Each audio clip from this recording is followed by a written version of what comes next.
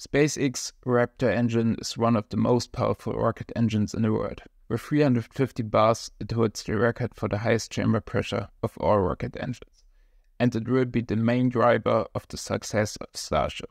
So, how does SpaceX Raptor engine work? It utilizes the full flow staged combustion cycle to produce thrust. A schematic of the cycle is shown here to better understand the working principle of the engine. The fuel is shown in red color in the scheme. The fuel exits the tank and directly enters the fuel pump, where the pressure of the fluid is increased. After that, the flow splits into two paths. The larger volumetric flow enters directly into the fuel-rich preburner, where most of the fuel is burned with a small portion of oxidizer. The other portion of the main flow enters the oxidizer-rich preburner. After the fuel is burned within the fuel-rich preburner, the hot gas enters the turbine. The turbine sits on the same shaft as the pump and therefore drives the pump. Behind the turbine, the gases are directed into the combustion chamber, where all of the fuel is burned with the oxidizer. The assembly is symmetric, therefore the oxidizer is going through the same components as the fuel. It enters at first the pump, after that it splits into two flows, the smaller portion going to the fuel-rich preburner and the larger portion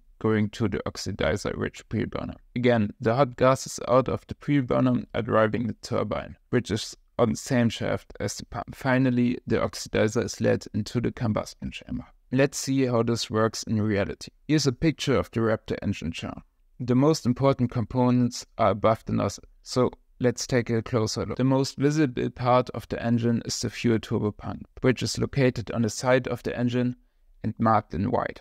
Here we can identify most of the components we have already seen in theory. The fuel inlet is located on top of the turbo pump. The next red circle marks where the actual centrifugal pumps are positioned. The Raptor engine utilizes a two-stage centrifugal pump to increase the pressure of the fuel more efficiently. On the left, you can see the pump exit pipe marked with red arrows. The flow out of the centrifugal pump goes at first through the main fuel valve and then further down to cool the combustion chamber throat and nozzle wall. After the fuel has cooled the walls of the engine, the fuel itself has a higher temperature.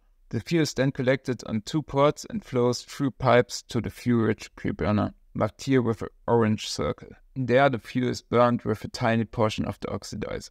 You can see the pipe in which the oxidizer flows to the preburner on the left side, marked with blue arrows. Because the amount of oxidizer which is burned in the preburner has to be regulated, a second recirculation pipe can be seen on the left. After the fuel is burned, the hot gases enter the fuel-rich gas turbine, which is located above the preburner. Here the power to drive the centrifugal pump is generated. The hot gases exit the turbine on the right side. The exit pipe leads to the injector head. Here both the fuel and oxidizer are injected into the combustion chamber. Now that we have identified most of the components of the fuel turbo pump, we can move on to the oxidizer turbo pump. The oxidizer turbo pump is located directly above the injector head and combustion chamber on the center axis of the engine. Because of the secondary equipment, the turbo pump is hard to identify in most of the pictures of the engine. I selected here a picture where the oxidizer turbo pump is at least partly visible in a white circle. The big pipe on top of the engine is the oxidizer inlet. Beneath the inlet sits the first and second stage of the oxidizer centrifugal pump. The casing of the pump has dark gray color and is marked here with a dark blue circle. In contrast to the fuel turbo pump, here the pressurized oxidizer out of the centrifugal pump enters directly the oxidizer-rich preburner. The casing of the preburner has again dark gray color and is marked with the blue circle. After the preburner follows directly the oxidizer-rich turbine which has a light gray colored casing and is marked in light blue. I think the setup of the assembly is hard to understand with all the components in the way. I tried to overlap the picture with a scheme of how the inside of the turbo pump could look like. The result of this can be seen here. Again, the oxidizer enters the turbo pump at the top. After that, the first and second stage centrifugal pumps are following. Next, the oxidizer enters the preburner and lastly flows through the turbine. I hope this picture makes some of the explanations clearer. The more complex parts of the engine are now identified.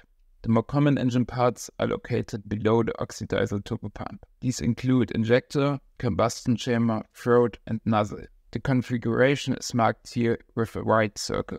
In the beginning, we already talked about the fuel going through the engine wards for cooling reasons. In this picture, we can see Torr circuits marked in black, which go around the engine wards. The main functions of the circuits are providing a larger cooling volume flow to the most critical parts of the engine wards and to collect the fuel for the backflow to the preburner. The injection head, as earlier mentioned, sits directly beneath the oxidizer-rich turbine and in this picture to the left of the fuel-rich turbine. The location is marked here with a red circle. From the layout of the engine, you can also identify the contour of the combustion chamber, the contour of the throat, and of course the contour of the nozzle. In this video, the most important components of the engine have been identified. If you see common pictures of the Raptor engine, there are a lot more complex lines. These lines are mainly for starting the engine, also called spin up, which is an extremely complex procedure for a full flow cycle engine. Also, some lines are for hydraulics. In addition, you can see smaller components. These are mainly electronics and sensors. I regard to this as secondary equipment, which is not necessary to understand the main engine, even though in the future deeper dive into the secondary equipment could be done. I hope this video was helpful. Thanks for watching. I will post similar content in the future.